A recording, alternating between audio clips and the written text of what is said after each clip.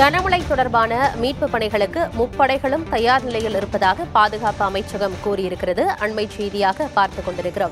Red alert எச்சரிக்கை விடுக்கப்பட்டிருக்கும் நிலையில் சென்னை உள்ளிட்ட மாவட்டங்களில் தொடர்ச்சியாக மழை பெய்து வருகிறது. இந்நிலையில் மழை தொடர்பான மீட்பு பணிகளுக்கு முப்படைகளும் தயார் நிலையில் இருப்பதாக பாதுகாப்பு அமைச்சகம் கூறியிருக்கிறது. விவரங்களோடு செய்தியாளர் பாலவெற்றுவேல் இணைந்திருக்கிறார். பாலவெற்றுவேல் முப்படை வீரர்களுக்கும் என்ன மாதிரியான அறிவுறுத்தல்கள்லாம் வழங்கப்பட்டிருக்கு பாலவெற்றுவேல்?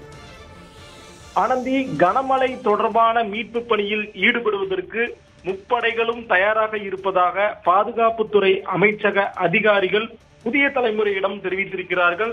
வட தமிழகம் மற்றும் தெற்கு ஆந்திராவில் காற்றழுத்த தாழ்வு பகுதி தற்போது காற்றழுத்த தாழ்வு மண்டலமாக வலுப்பெற்றிருக்கிற நிலையில நாளை மற்றும் நாளை மறுநாள் மிக கனமழை பெய்யும் என தெரிவிக்கப்பட்டிருக்கிறது. இந்நிலையில் மீட்பு பணிகளில் ஈடுபடுவதற்கு தமிழ்நாடு அரசின் சார்பில் ஏற்கனவே தேசிய பேரிடர் மீட்பு படையினர் பதிமூன்று கம்பெனி வ- வரவழைக்கப்பட்டிருக்கிறது. அவர்கள் தற்போது களத்தில் இருக்கிறார்கள். இந்நிலையில் இந்திய ராணுவத்தினுடைய பாதுகாப்புத்துறை முக்கிய ஒரு அறிவிப்பை வெளியிட்டிருக்கிறாங்க. மீட்பு பணியில் ஈடுபடுவதற்கு விமானப்படை கப்பற்படை கடலோர காவல் படை தயாராக இருப்பதாகவும் கூறப்பட்டிருக்கிறது. தாம்பரம் விமானப்படை தளத்தில் மீட்பு மற்றும் நிவாரண ஹெலிகாப்டர்கள் அரக்கோணம் கப்பல் படையில் கப்பல் படை வீரர்களும் மத்திய கடலோர காவல் படையினர் படகுகளோடு தயாராக இருப்பதாக தெரிவிக்கப்பட்டுள்ளது.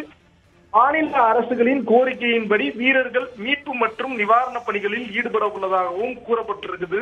உணவுப் பொட்டலங்கள் விநியோகம் செய்யவும் மருந்து குடிநீர் வழங்கவும் தாம்பரம் விமானப்படை தளத்தில் ஹெலிகாப்டர்களோடு வீரர்கள் தயாராக இருப்பதாக கூறப்பட்டிருக்கிறது ஆனந்தி. மீட்பு பணிகளுக்கு முப்படைகளும் தயார் நிலையில் இருப்பதாக பாதுகாப்பு அமைச்சகம் கூறியிருக்கிறது. தகவல்களை வழங்கியமைக்கு நன்றி பாலவற்றுவேல்.